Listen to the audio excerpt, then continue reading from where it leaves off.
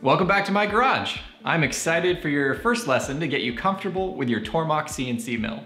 Now let's start with the obvious. The first question I had was, how do you turn this thing on?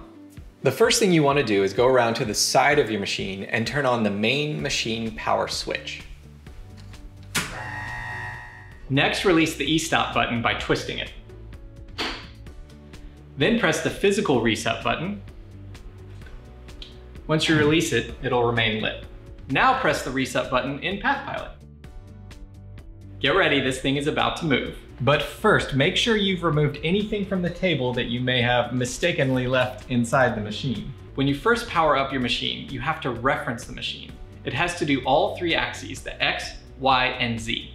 You should always reference the Z axis first, followed by the X and Y. That moves the spindle up and out of the way before it moves the table around. You want to avoid slamming the spindle into anything that may be on the table like a vise or a workpiece.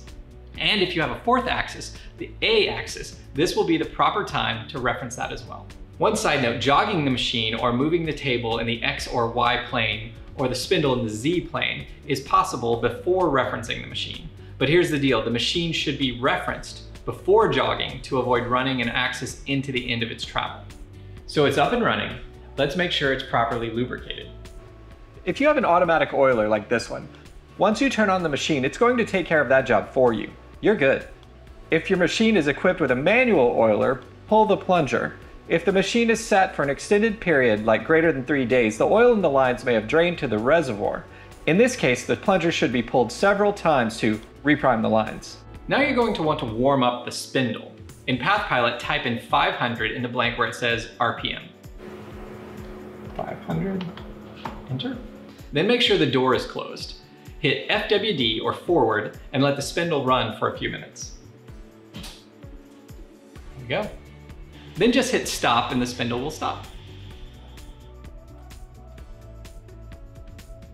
When you're ready to shut down your machine, hit the e-stop button then press exit in PathPilot and press OK. When prompted, turn the main power switch and you're done. We'll leave it there for this video and pick it up on the next one.